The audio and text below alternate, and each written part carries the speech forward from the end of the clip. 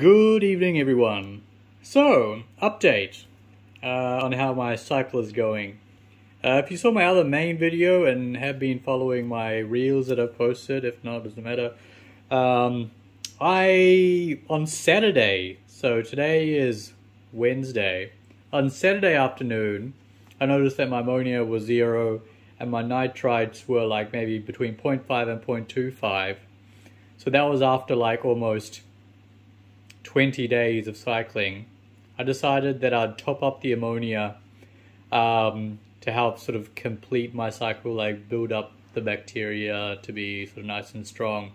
So now you can see it's only been four days, and like this, uh, the system has already processed two ppm of ammonia, and uh, ammonia is gone now. It's like zero, and the nitrites even are probably between zero and 0.25.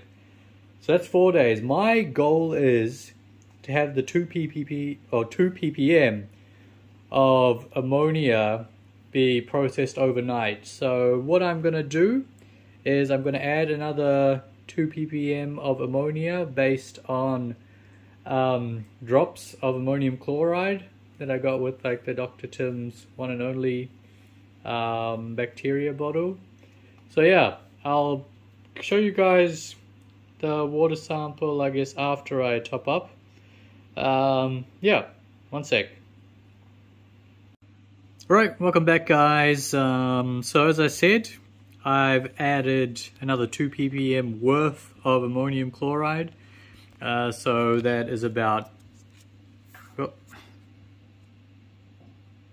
this 5 ml syringe, about two and a half of these. Yeah, whatever. Um, so yeah, you can see on the right here was the original ammonia sample. I guess it gets being a bit discolored over time. But this is a new ammonia, the water sample for the ammonia test, which you can see that is sitting at about 2 ppm ammonia.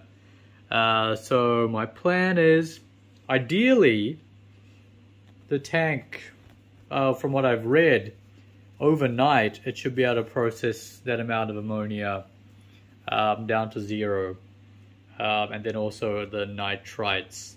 So I think we're getting close to the end goal. Uh, so our fishies over in that tank will finally be able to get transferred over here.